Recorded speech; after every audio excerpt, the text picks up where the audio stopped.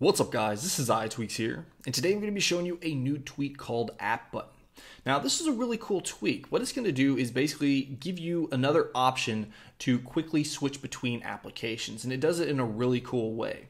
So you can see right here that we actually have a nice little translucent button, and you can see if I just tap start to swipe down on it, that we have our applications right here. And you can see that once it starts to highlight that application, if we let go, it's actually going to go directly to that app. So this is actually uh, the creator or the developer of this tweak. And you can see right here, if we go ahead and swipe down, that we have all of our applications. If we go all the way to the right, you can see that it starts to scroll through all the open applications that we have. So then we just let go on one and it's going to open that up. So let's just go ahead and open up the clock and you can see we can go back to the settings and it's very simple very quick. Now you'll notice that if we go into our app button settings that we have three panels. First is our favorites apps. So you can see that we have one favorite right here. So basically it loads all of your applications and then you can add your favorites right here. So let's say that we wanted to add uh, in addition to alien blue let's say we wanted to add uh, let's just say the calculator and maybe the app store all right, so now how do we actually access our favorite apps? Well, first of all, you can tap and hold on this button and then drag it. So you can move this wherever you'd like. So let's just say we're just going to put it right here near the middle of the screen. Now to access your favorite apps, all you have to do is swipe up. And then here are all your favorite apps. So we can go directly to Reddit, we can go into our calculator, or directly into the App Store. Again, you can add as many as you want. And if we let go right here, it's not going to open up anything. You'll notice that little arrow up at the top, that means it's not going to open anything. So let's just open up uh, the calculator real quick. And then if we want to, we want to go back to the settings, which is our last use app, just tap on the button and it's going to go directly back to settings. So this is a really cool tweak and I highly recommend checking this out. So you can see right here, let's go ahead and move this out of the way and then tap on look and feel. So here's where you're going to change basically how it looks. So you have the black button. If we toggle that off, you can see that it goes to a white button.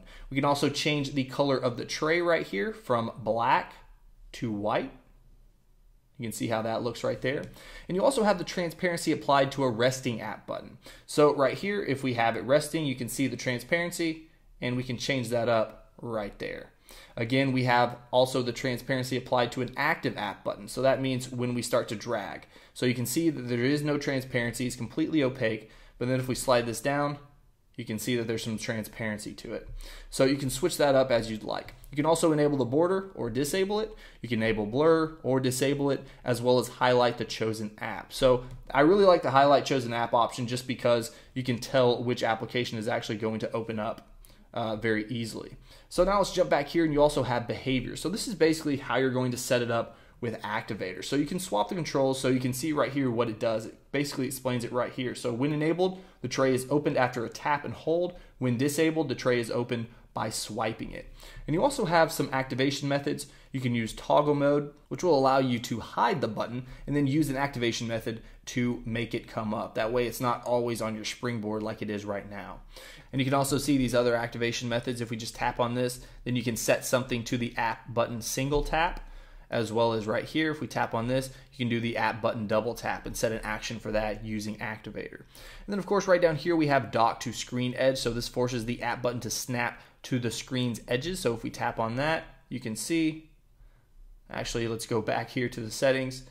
If we tap and hold and then we let go, you can see that now it's going to be right there on the side of the screen. So it snaps to that right there. So it just kind of depends on how you want to use this. You can also use scroll enabled. So that's like what I was saying. When you can't see all the applications, it's going to start to scroll just like that. Uh, let's go back. And then right down here, you also have kill apps gesture, which basically you just hold it at the very end and it's going to kill all the applications running in the background. And you also have a whitelist just in case there's some apps that you don't want to kill when you use the kill apps gestures.